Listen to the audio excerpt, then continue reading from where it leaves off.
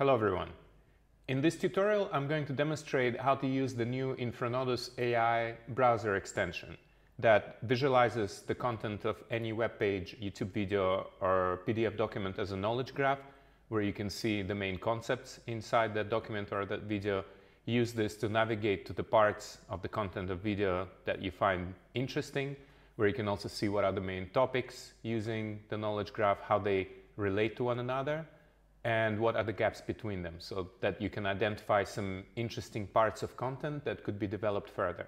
And all this powered by the knowledge graph and the underlying GPT-4 AI system that allows you to generate a summary of any topic in just a few seconds and where you can also generate interesting research questions that would allow you to develop the, the content further.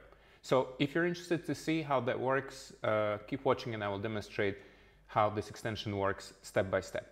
So first of all, you will need to install it. This you can do from the Chrome Web Store or from the Firefox add-on store.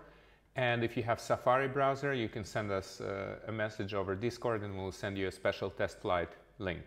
And once you have this extension installed, you actually need to go to the settings and just check if everything is okay. So by default, it uses 3.5 model, but you can set 4. It's going to be a bit slower, but I'll keep it for the purposes of the demonstration. And if you're in Safari browser, you will need to also set the API key, but normally you can just use your web app login. And once you change those settings, then you click Save. And also I recommend you to actually set the graph as the default panel so that each time you load something, you would be able to see the graph. And then once it's all activated, when you load any page, so in this case it's a YouTube video for instance, um, you will see a little button here at the bottom right and you can also pin the extension at your browser tool, toolbar and then you can also activate it through here. So if you pin it like that, it's always going to appear at the top. But for now, I'll just use this button, which you can also remove if you want. So once you have the content loaded, then you click the button. It's going to analyze the content of the web page or a video and visualize it as a graph. It shows you what are the main concepts. So the way that I like to explore uh, this graph first is just to kind of turn it around to touch the content of the video a little bit, right? And then I'll see what are the main topics. So for example, memory seems to be a very central concept in the graph. If it's bigger, it means uh, it's more important. And if the concepts have the same color, it means they belong to the same topical cluster. So for example, here, what I like to do usually is to find the smaller ones that uh, are not so evident maybe. Like for, for instance here, electrical signal. It's a video on how memories are stored in neural networks, right? So then I'm like, okay, what's the electrical signal part? What is it about? And here I have a few options. Um, so I can either ask it to jump to the actual statement where these terms are used. So I'll, I'll turn on the sound so you can hear how that sounds. Like now I just have the become video clear that it doesn't really make sense to measure Jump to statement. understand things about the brain. The reason is, I think, that it has a rather simple behavior.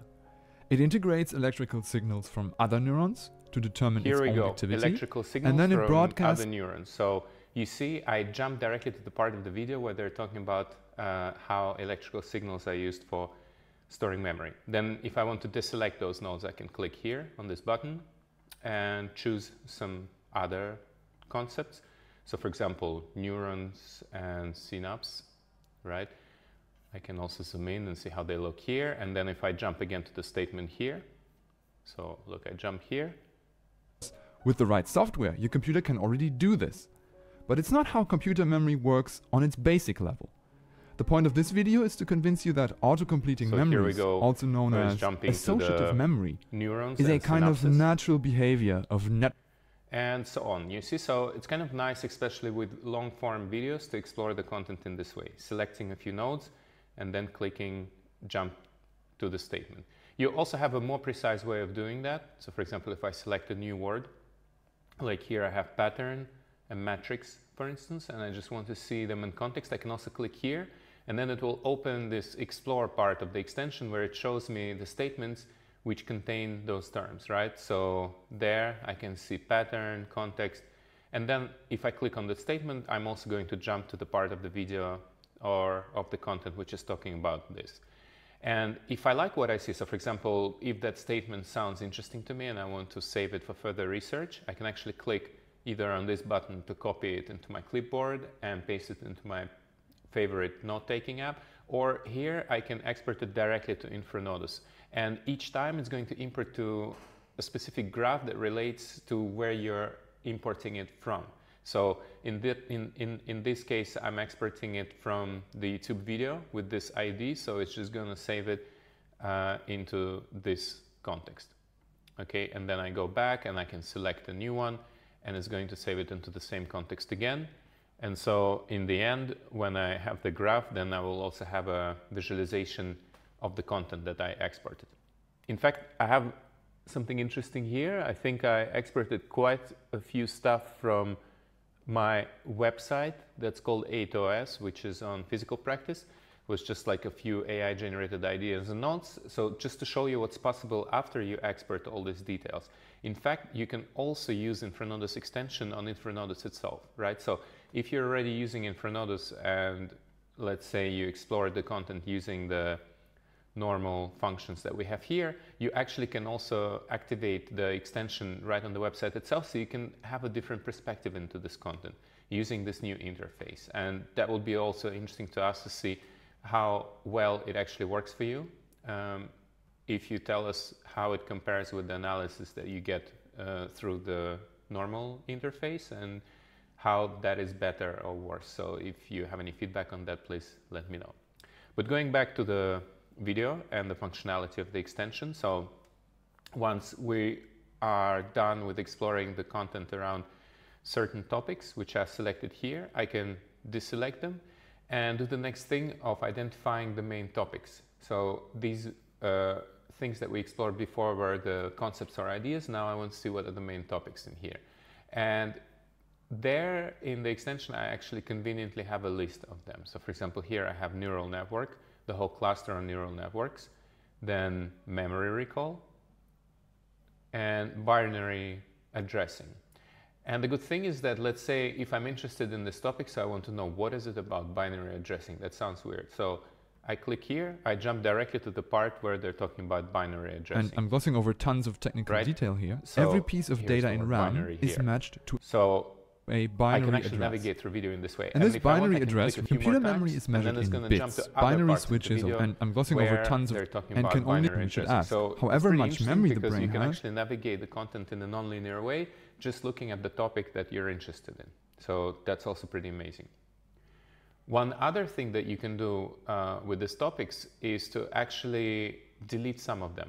So for example, if I find a topic like here, video demonstration, that I don't think is interesting for the content of this conversation, I can just click this close button and it's gonna temporarily hide all the words that belong to this topic. They're all visible here.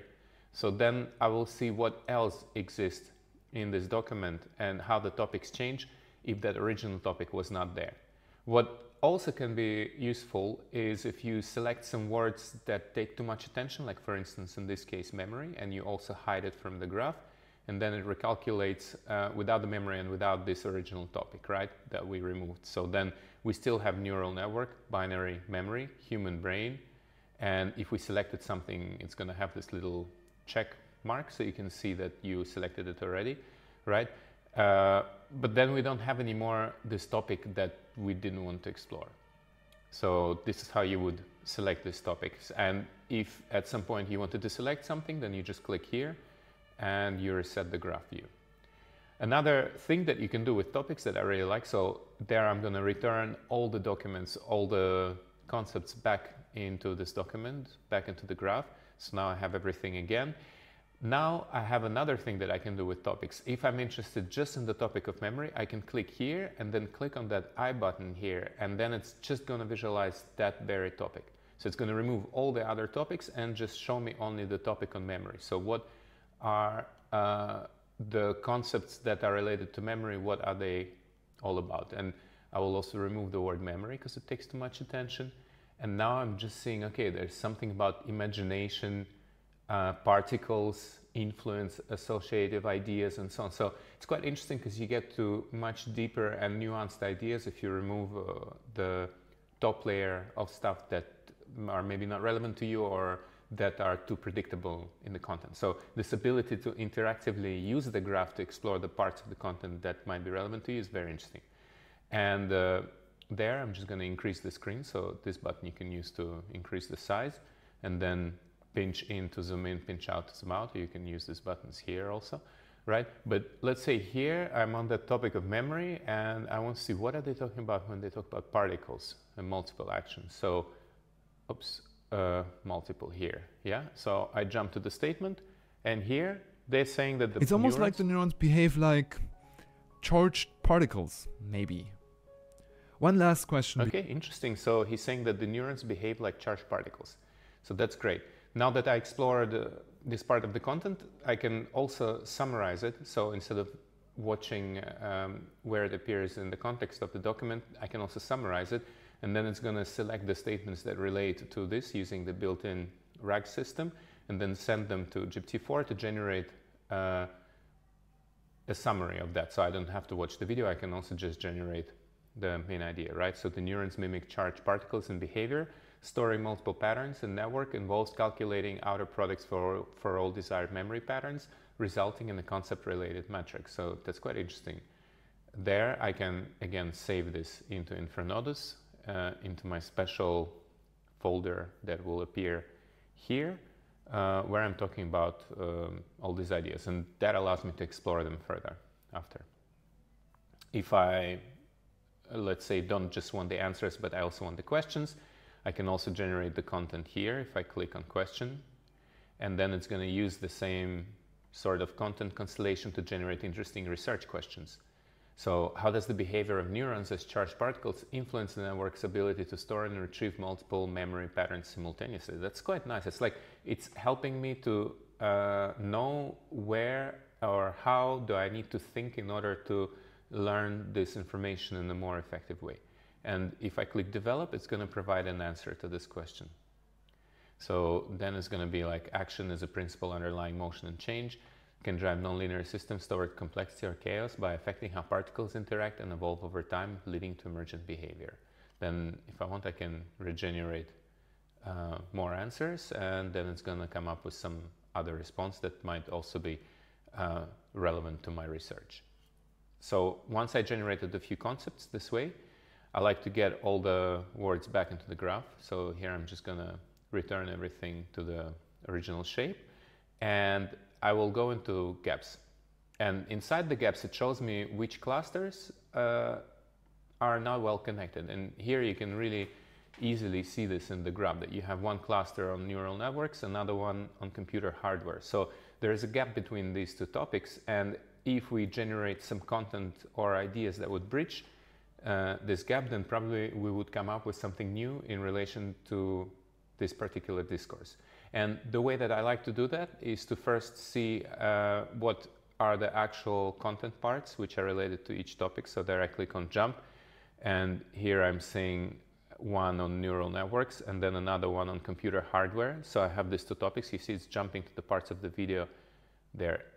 You will see it better. Like now it's at uh, zero, zero and then it's at, uh, if I reload the gap and show you another one, for instance, it's at 536 and then another one is at uh, 224. So if I listen to those two statements, it's going to give me an idea of uh, how those two clusters are possibly connected or what they're talking about, right? And then that will allow me also to generate an idea myself that would connect those two topics, the binary address and neural network, but I could also click this button question and then it's going to generate a question, how Infranodus usually does, based on that gap and uh, try to get a response to it. So that's also how you could use the gaps and all these ideas. Here you generate a question, here you generate an answer, and here you generate a summary. And if you click here, you view this gap in the context. So then it's going to shift to the brainstorm tab and show you the two statements that are most relevant for this gap, and then you can think of the connection yourself. So this is just to show you that you don't always have to use the AI to generate ideas for you. You use the graph and the underlying structure, and then if you like, you can think for yourself, or you can also use the graph to generate ideas. Another really interesting feature of this extension is that once, let's say, I select something I like, like for instance, pattern and uh, metrics, right? So that's kind of like a little bit esoteric for me. I don't know what it's talking about, although I have some uh, hints already from the previous exploration. If I select metrics and pattern and then I click here, I'm gonna copy the underlying graph structure into the chat and then I'm gonna force it to come up with uh, some content that would relate to all of them and link those ideas together. So that can also be a pretty interesting way to explore the content around a certain query, but using this familiar chat interface. And here, for instance, again, I can go pattern metrics, pattern metrics here. I go here.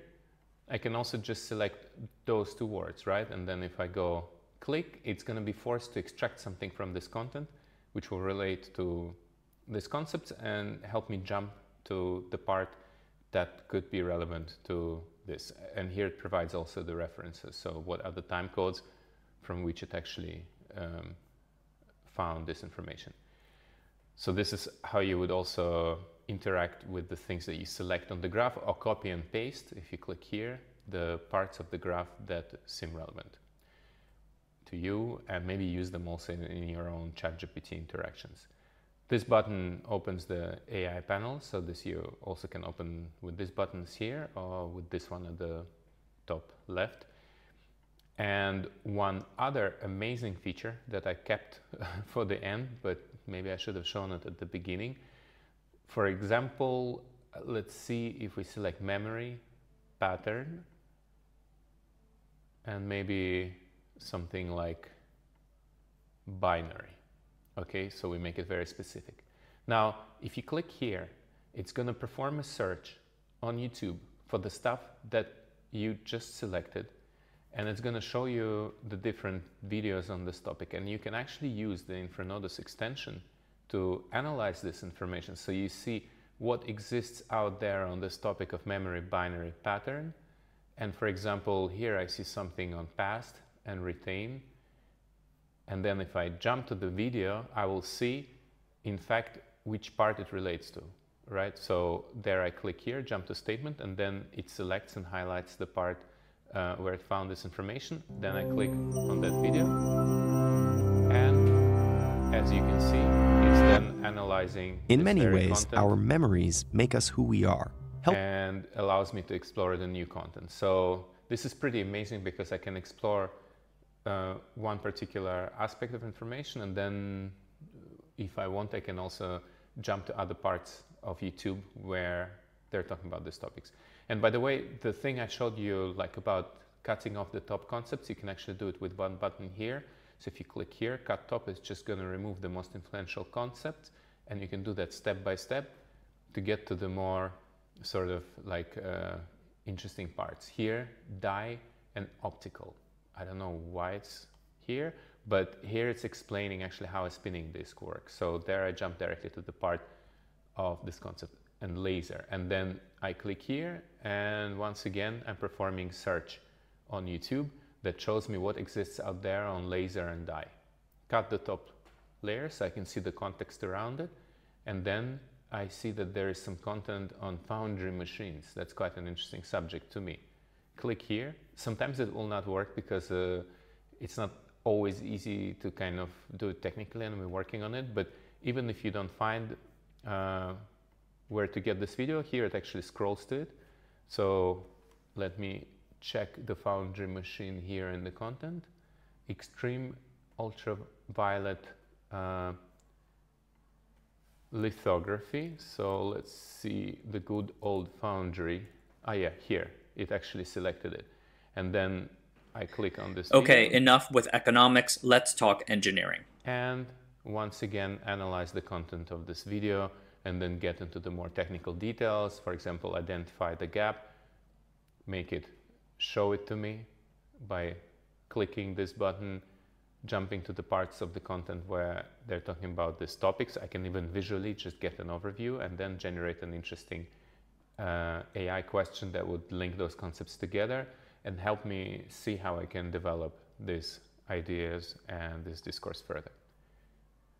So this is how the graph works. I think I showed you all the main features that you have here. If you ever want to reset it, you can always click this button at the top right. And also you can just open and close it again. And of course, you still have the traditional parts of the extension. Like if you click here, then you just see the normal brainstorm and explore view where it automatically identifies the gaps without showing you the graph and generates a research question, uh, which you can also then get an answer to. So you really can do it in these different ways, like generating questions, answers, also just using the standard interface. Then if you click on the topics, uh, then you jump to the part of the content where they're just talking about this, these queries.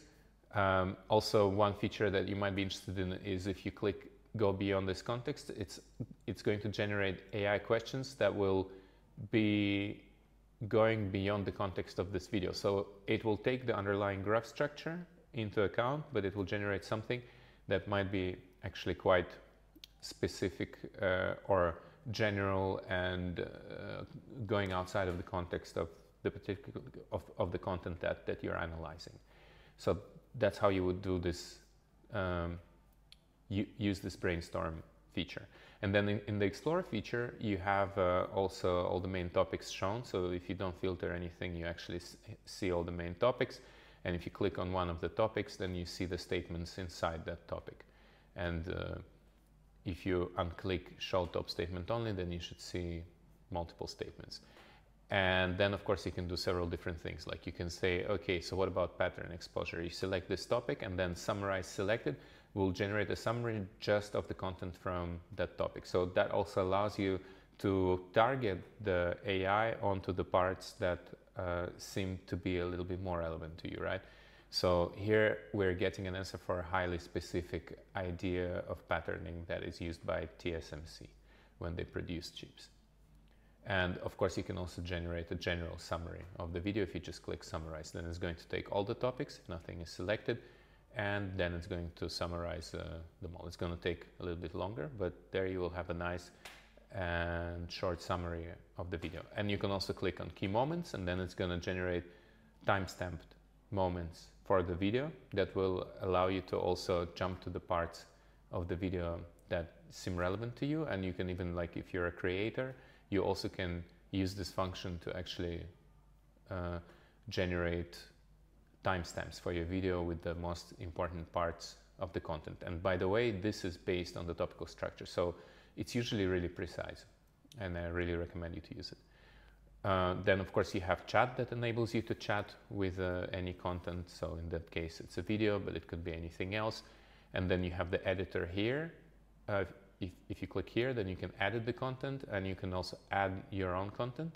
If you want to add it to the analysis, then you click here. But in fact, let's say that you want to forget about this video and you just want to actually create something new. So how can neural networks be integrated in chips and produced as uh, devices or something like that, right? So I'll click here and then it's just this content which is analyzed. So you can actually use this box to analyze any content you want. If you ever find yourself on a web page where uh, maybe you just want some part of the content only, or you just want to select something specific, you always can do that. You know, you can select a part uh, of the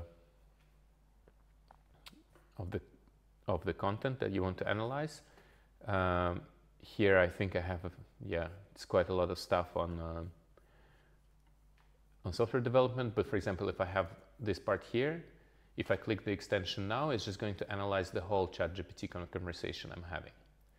But I can also say that I just want my own content, so I add my own part of the content, and then it's just going to analyze whatever it is that I added into the system. Okay, so it's kind of nice because it allows you to uh, choose actually what's going to be analyzed. And here you have a switch between viewing uh, top concepts or all the different concepts. So you can switch bit between this if you want to see more or less. Uh, this button always exports everything, like the content that you're analyzing now to Infranodus. So if you click this, it's just going to export everything you're analyzing into Infranodus. And widescreen, I already showed settings, that's it. If you ever want to move this button around, you can just drag and drop it. If you click remove, uh, next time you load the website, it's not going to be shown. So if you need to get it back, you will have to click back the top pop-up button or reinstall the extension. And by the way, also I forgot to mention that you can also move the extension yourself. So if you would like it to be somewhere else, you, then you can move it elsewhere and it's just going to appear there next time that you load the graph. So this is how it works. I hope that you find it interesting. I decided to record this video step by step so you know all the functionalities of the extension. Let me know what you think about it and if you find it useful. And uh, also subscribe to this channel so you can get uh, new content recommended. And if you have any questions or comments, please leave them in the comments below. Thank you.